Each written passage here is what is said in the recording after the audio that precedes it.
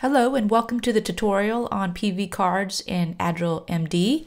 This is just a screen capture from my iPad and if you open the app you can see my cards here listed in a folder organized by organ systems. You can see here the list.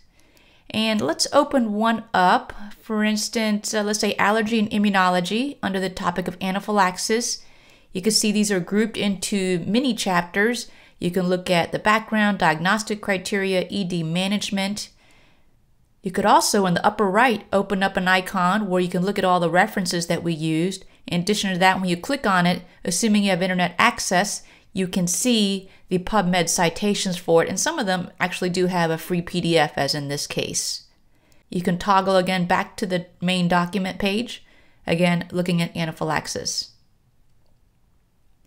Let's go back now to a different section.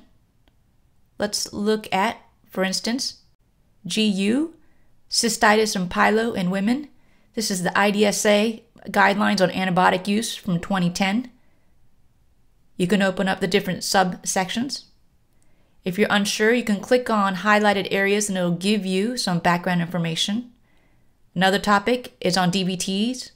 You can see this topic written by Jason West, and if you click on images, you can actually zoom up on them on your iPad and your iPhone, as well as your Android. So take a look at the PV cards. We'd love your feedback. Again, PV cards on Agile MD app. They're free for download on iTunes and Android. Thanks.